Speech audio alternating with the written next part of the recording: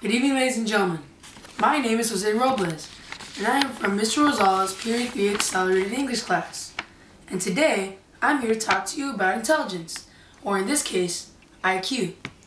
Is it a number that you are born with, just a predictor of how intelligent you can be, or is it meaningless in telling anything about a person's intellect?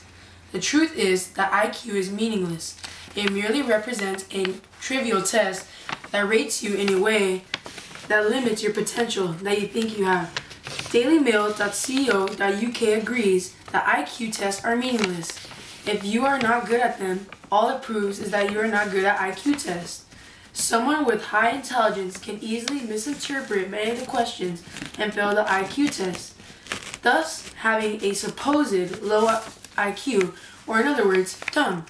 While on the other hand, someone with low intelligence can easily just guess on most of the questions and pass the IQ test with a high score, thus having a supposed high IQ, or in other words, smart. This is one key flaw that many scientists never considered during this time period. The old IQ test is outdated and useless in today's world. DailyMail.co.uk agrees that traditional IQ tests are too simplistic. According to the research which found that what makes someone intelligent is too complex to boil down to a single exam.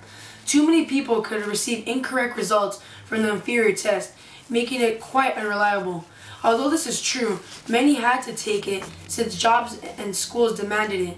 This affected many people's lives because some were wrongfully named dumb, low IQ, regardless if they were actually smart.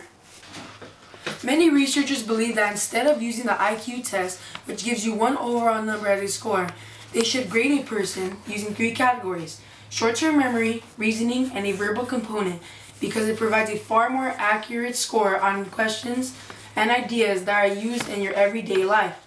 Independent.co.uk claims several different circuits contribute to intelligence, each with its own unique capacity. A person may well be good in one of these areas, but they are just as likely to be bad in the other two. This test is able to show a person what he or she is doing well in or badly in with its information. People are able to attempt to get aid to increase their skills and categories. This new test approximates someone's intelligence in a more fair and accurate manner. Many scientists have asked the same question what determines intelligence? Independent.co.uk believes that the results from a study that was taken questions the validity of controversial studies of intelligence based on IQ tests which were drawn links between intellectual ability to race, gender, and social classes, which led to highly contentious claims that some groups of people are inherently less intelligent than other groups. Many could have inherited traits of being less intelligent from their family line or were just born with the abnormality. Many factors can affect one's intelligence. Furthermore, more research must be done to completely understand what causes different intelligence. When put into perspective, the IQ test was a setback and a complete mistake.